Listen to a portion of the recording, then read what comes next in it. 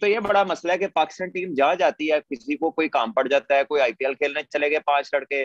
पहले South Africa Pakistan आई test match के बाद उन्होंने ऑस्ट्रेलिया की सीरीज़ को सर पे इतना ले लिया कि उसकी अलहदा टीम भेज दी टी ट्वेंटी के लिए। हाँ, बाद में वो भी नहीं हुई उनकी सीरीज़ वो भी नहीं हुई। फिर हम इंग्लैंड के खिलाफ टी ट्वेंटी खेलने गए। इंग्लैंड ने अपने पाँच लड़के हमारे खिलाफ नहीं खिलाए। नहीं खिला स्टोक्स हाँ। नहीं खेला वॉक्स नहीं खेला बटलर को छुट्टी दे दी जोफ्रा आचर को छुट्टी दे दी मार्कवुड को छुट्टी दे दी। पता नहीं है कोई पॉलिसी है दूसरे मुल्कों की कि पाकिस्तान के खिलाफ पूरी स्ट्रेंथ से खेलना ही नहीं है इनको जितना हो सके नुकसान पहुँचाया जाए। अपने से अच्छों में जितना खेलेंगे इनकी बार उतनी ऊपर जाएगी। हंड्रेड हंड्रेड परसेंट सही बात ये जब उधर जाते हैं इनको एक्सपोज कर दिया जाता है ट्रायल मैच वालों के साथ। कोविड इंडिया और इंग्लैंड में ना पाकिस्तान से बहुत ज़्यादा है।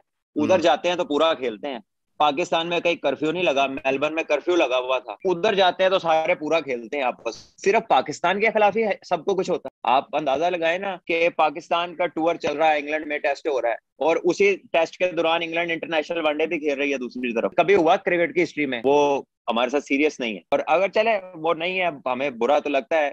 मेरा सिर्फ़ एक क्वेश्चन है कि इंडिया में ना अभी ये कल परसों लाख बंदे को कोविड पॉजिटिव आया बिल्कुल बिल्कुल आया। पाकिस्तान में अभी तक हाईएस्ट रेशो जो है ना वो पाँच हज़ार की एक दिन में ठीक है? अब ये चाहे प्रोपोर्शनेट भी कर लेना उनकी आबादी से तब भी ये रेशो कम है बहुत कम है उनसे। मैं पूछना ये चाहता हूँ कि जितने ओवरसीज आए कोई गया वापस? यहाँ पे तो डेनियल क्रिस्टन ने अगले दिन ही कह दिया मुझे भेजो वापस। हम्म। दो बंदे पॉजिटिव आए तो ये ऐसी हरकतें उधर नहीं करते। यहाँ पर बहुत खुल खुला के ऐसी हरकतें करनी है। I would like to see Daniel Christian doing this in the IPL फिर मज़ा आएगा देखने का क्या होता है। ज़रूरत नहीं है डेनियल क्रिस्टियन तो बहुत कोई मतलब एस्टेब्लिश इंटरनेशनल प्लेयर नहीं है। जब पहली आईपीएल हुई थी राजस्थान रॉयल्स में कोई बॉम्ब ब्लास्ट हो गए थे दो तीन तो हाँ. तो पहले शेन वॉन ने कोई बातचीत की तो जब ललित मोदी ने कहा कि ठीक है जो जानना चाहता चला जाए तो शेन वॉन टॉस करने आगे और मैच भी हुआ। तो ये ये इन ये ये जो इनके जो जो कह रहे हैं ना कि वो मेंटली वो उनको उस तरह नहीं लेते ये ये मेंटली सबसे शार्प है। इनको पता है कहाँ पर क्या बोलना है। हम्म। और ये सिर्फ़ अपना फ़ायदा देखते हैं। क्या इंडिया क्रिकेट बोर्ड अलाउ करेगा अपने प्लेयर्स को? किसी किसी और लीग के लिए। वो तो वैसे ही अलाउ नहीं करते छुट्टी में भी।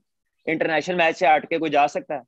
कोई नहीं जा सकता कोई नहीं जा सकता। आफ्टर एवरीथिंग ये भी एक फैक्ट है कि Pakistan team in the last few years as a brand has not been in demand I mean एक फैक्ट ये है कि जो जो एक डिमांड थी पाकिस्तान टीम की एज अ ब्रांड से ten years back fifteen years back twenty years back और बिफोर दैट वो चीज़ भी तो नहीं है ना। तो लोग ये भी तो देखते हैं बोर्ड ये भी तो देखते हैं कि यार आ, मतलब किस टीम को के खिलाफ हम खेल रहे हैं या कितना ये हमें रेवेन्यू अर्न करके दे सकती है। Because at the end of the day name of the game is money जब भी इंडिया को इतना सर पे चढ़ाते हैं। Exactly exactly right then how do you create stars आप जब दो दो मैच खेले हुए डोमेस्टिक प्लेयरों को खिला के पाकिस्तान, क्या एक्सपेक्ट करते हैं कि टीम ब्रांड रहेगी?